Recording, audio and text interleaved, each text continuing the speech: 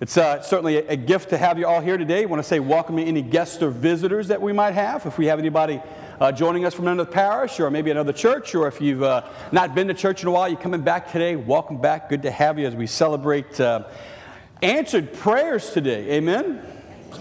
Uh, it's uh, ironic to be actually looking outside and see the sun shining today on this Sunday morning when just on Friday morning we were, uh, we were perhaps in, in, in, hurricane preparedness mode, getting ready for a tropical storm Karen as she was inching ever closer to the coast.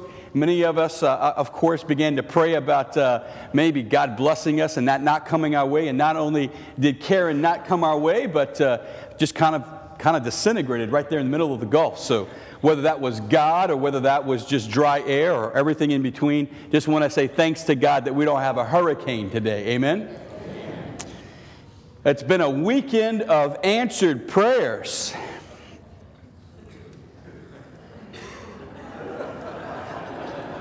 Just going to say, LSU scored 50 something points yesterday. and their defense held Mississippi State to three points in the second half. The Saints are 4 0. Alex Goday's at Mass today. Lots to be thankful for this morning. Answered prayers.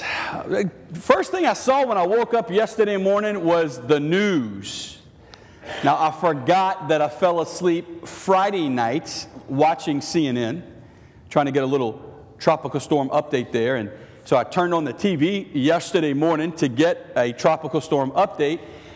And the first thing that was on the news was a story about military chaplains, priests in the military, who, because of the partial shutdown of our government right now, uh, at least yesterday morning, there was the fear that if any of the military chaplains, the Catholic chaplains in the military, celebrated Mass,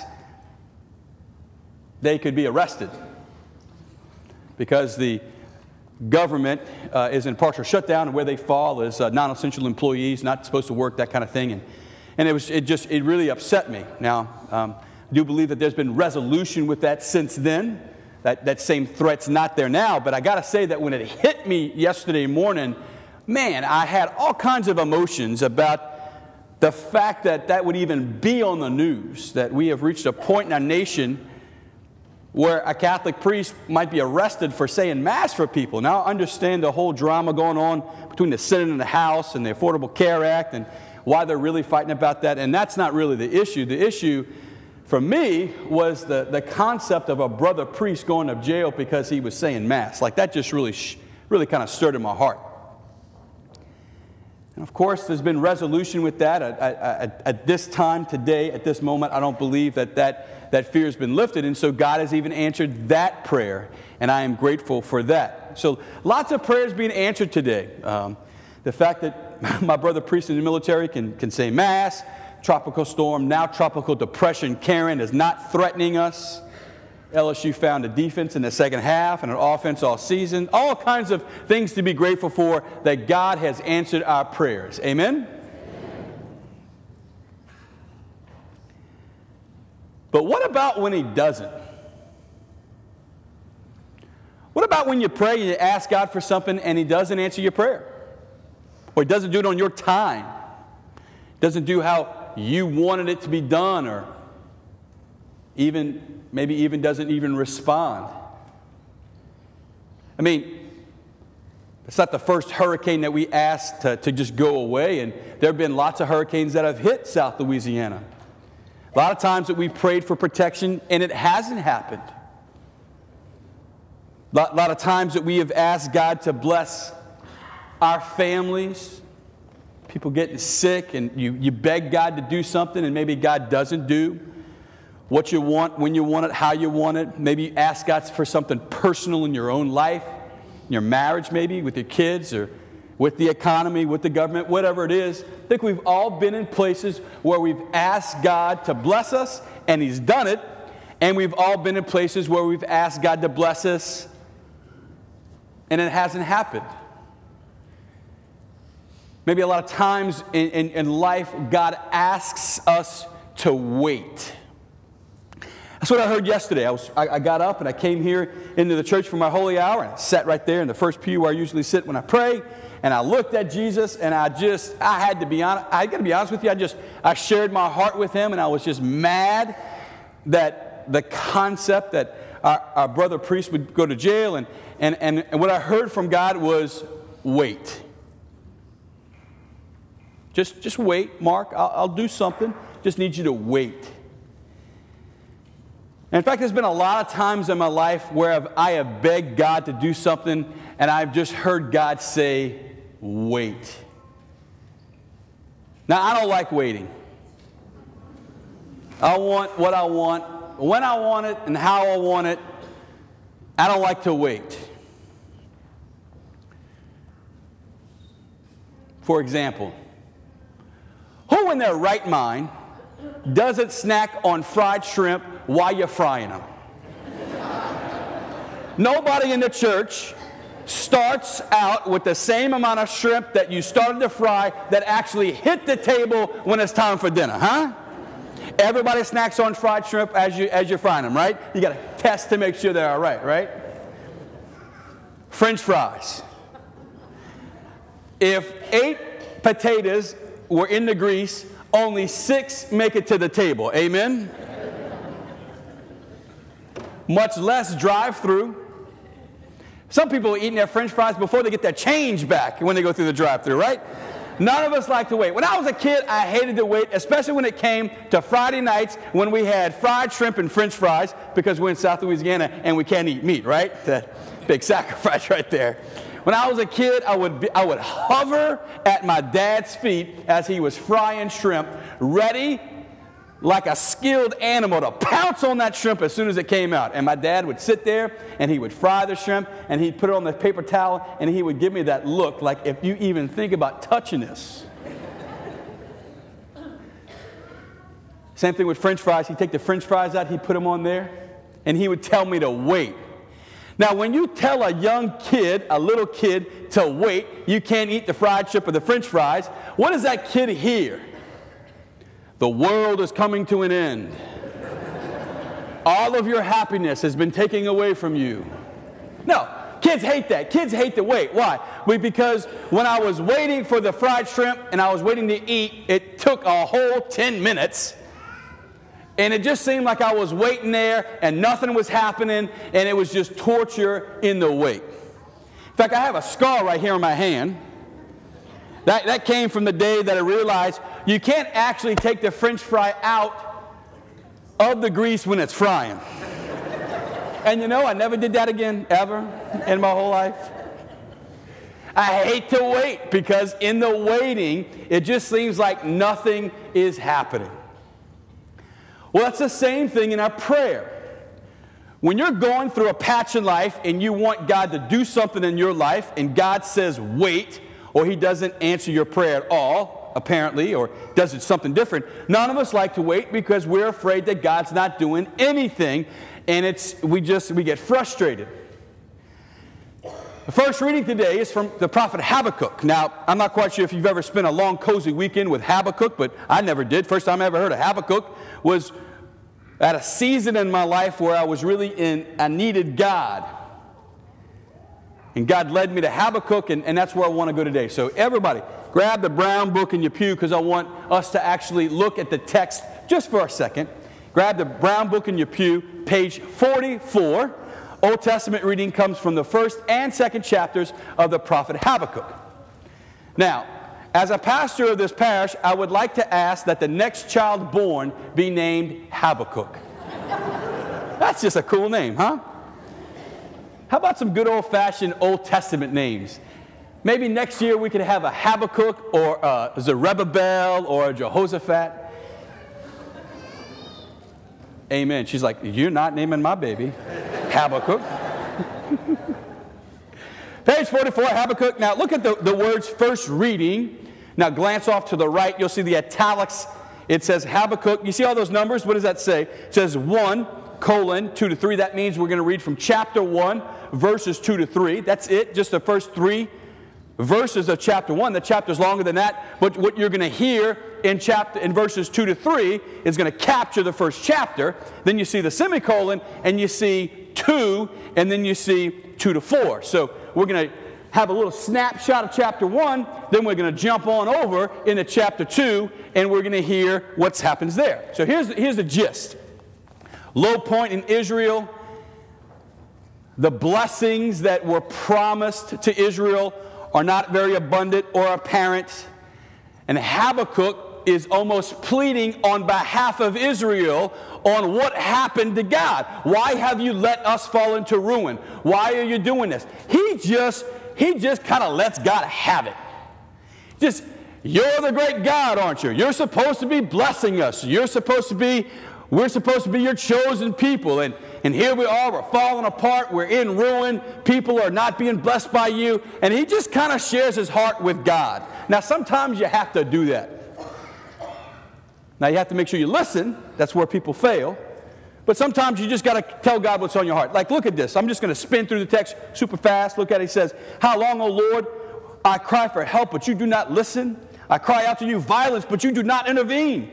Why do you let me see ruin? Why must I look at misery? Destruction and violence are before me. There is strife and clamorous discord.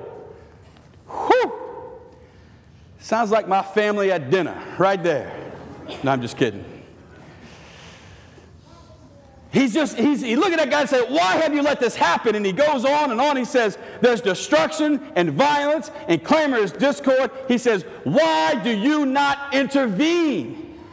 That's basically the whole chapter. He's just pouring out his heart to God. He's asking God, Why have you not answered our prayer? And then God answers in chapter 2. Let's look at God's answer. Then the Lord answered me and said, Write down the vision clearly upon the tablet so that one can read it readily. Next page. For the vision still has its time, presses on to fulfillment, and will not disappoint. If it delays, wait for it. It will surely come, it will not be late. God says to Habakkuk, Hey, Habakkuk, the blessings are coming, the prayer has, is going to be answered. I have heard you. Wait for it. It will surely come. It will not be late. Say that with me. Wait for it. It will surely come. It will not be late. Say that with me one more time. Wait for it. It will surely come. It will not be late. He's telling Habakkuk, hey, Habakkuk, I'm, I'm going to answer the prayer. I have heard your lament, but I'm going to give it to you how I want and when I want because I see everything. There's a season in my life doesn't matter what church it was at, doesn't matter who was involved, just forget about all that. Just know this. There's a season in my life as a priest where I came across something in the, in the church, in the parish, that was kind of hidden. It was in secret, and it wasn't supposed to be in secret. And I prayed about it, and I heard God say, Hey, that needs to come to the light. I want that out the dark and in the light. So I prayed about it. I heard God say, I want you to do it. So I did it. I brought it into the light. And there was all kinds of drama because of what happened when I brought it into the light. Now, thank God that there's no drama at Christ the Redeemer. Amen? Who's laughing over there? I'm just kidding. There's not a lot of drama here. I like that. But I, there was lots of drama where I was, and I brought it into the light because he told me to do it, and I did what he said to do. All this drama, and it's all pointed at me all kind of mad. People are angry. They're accusing me of uh, all kinds of stuff. So I turned back to God and said, Well, if this is what you do to your friends, there's no wonder you have so few of them. And God says, Go to Habakkuk. And I said, And God bless you. I said, Habakkuk? He says, Go to Habakkuk. I'm like, um, is that in the Old Testament or the New Testament? I'm not quite sure if I've heard of Habakkuk. So he says, go to Habakkuk. So I go to Habakkuk, I find him. He says, go to chapter 1. I read chapter 1. Then he says, go to chapter 2. I read chapter 2, and he says, stop. And he says, I want you to wait. And I didn't like what he said because I like french fries and fried shrimp immediately. And I wanted to get out of this drama that was going on in my life. So I waited because he said to wait. And then he said to me something that changed my life. He says, Mark, there's a difference between, between waiting with me or for me.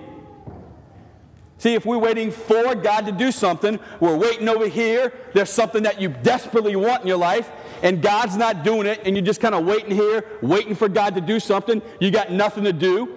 You can't eat the fried shrimp. You can't eat the french fries. They're going to be on the table, and you're just waiting. Like you beg for God to do something in your family, or in your spouse, or at work, or in your life, your parents' health, your finances. You're waiting for God. And when we're waiting for God to do something, nothing's happening in our picture. And God said, Mark, there's a difference between you waiting for me to do something versus waiting with me as I'm doing something. So I said, Well, God, you're going to have to teach me how to do that. So he says, Okay, I will. So then what happened is, as I waited with God, praying for the parish, other things that were hidden came to the light. And when it all came to the light, there was all kind of drama going on. And then God, once he had it all in the light, then God said, Now I need you to be a father. So I just began to talk to people and ask them, Is this true? Is that true? Is that true? And what happened in the process, long story short, was a whole lot of reconciliation, a whole lot of honesty, a whole lot of repentance, and the parish was absolutely stronger after the incident than before the incident. Because I waited. You see, what was, what was God doing as I was waiting? Where he was, he was moving in other people's lives. He had other things to do. And I couldn't see that when I was waiting. So he said, Wait for me, wait with me, and I will show you what I'm doing. That's what he's telling Habakkuk. Hey, Habakkuk, I need you to wait with me. The answer's going to come. It will not be late. It will press on to fulfillment. It will not disappoint. That's what he told Habakkuk. And Habakkuk had to learn how to wait with God.